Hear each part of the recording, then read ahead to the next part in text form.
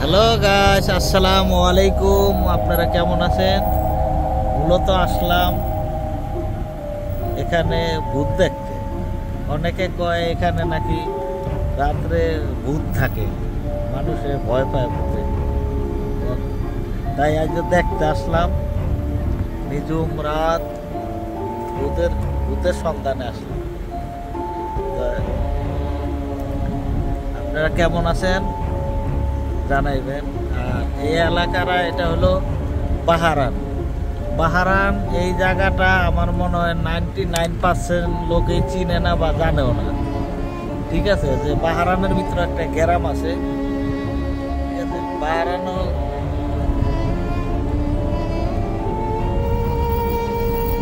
দেখতে থাকেন।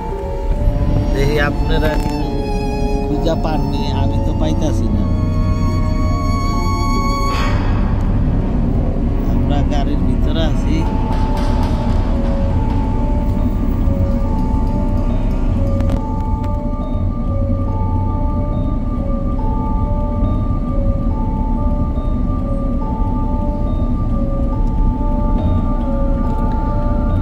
যদি বাহারানে যারা থাকেন, এই জায়গাটা দেখতে মন চায়, আইসা পড়বেন।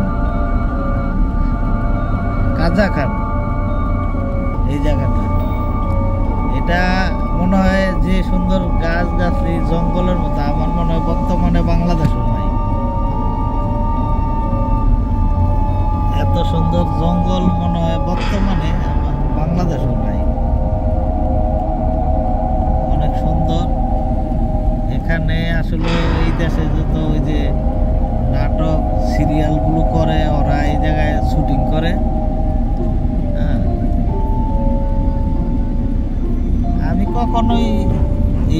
এদিকে আসা পড়ে না।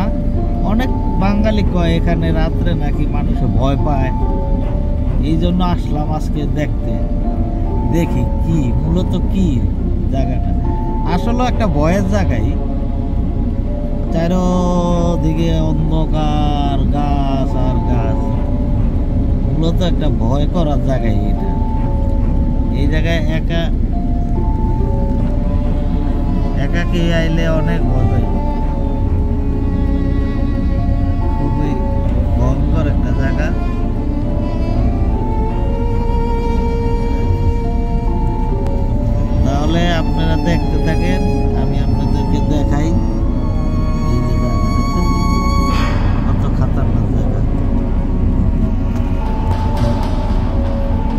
এতক্ষণ খুঁজলাম, কোনো ভূত পাইলাম না।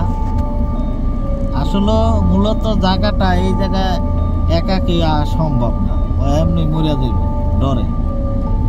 আর আমরা যেহেতু গাড়ির ভিতরে, এই জন্য তেমন একটা ভয় নাই। দেখি জিনিসটা আসলে কি।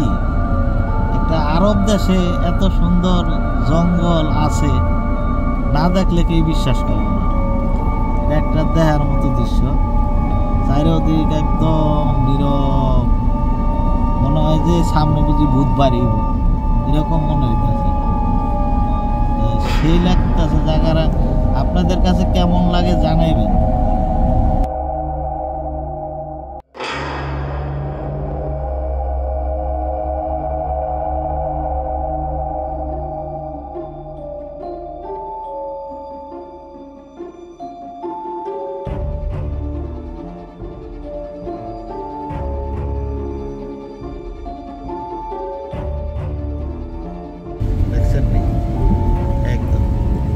আমার মনে হয় আসলে রাত্রে এই জায়গায় ভূত আসে। এটা বাস্তব মনে হয়। এই আর কি। মানে নীরব জায়গা, চারিদিকে জঙ্গল আর জঙ্গল জঙ্গল আর জঙ্গল। দেখছেন এই জায়গায় একটা মানুষ আইলে তো এমনি নার্ভাস হয়ে যাবে। কি একটা অবস্থা।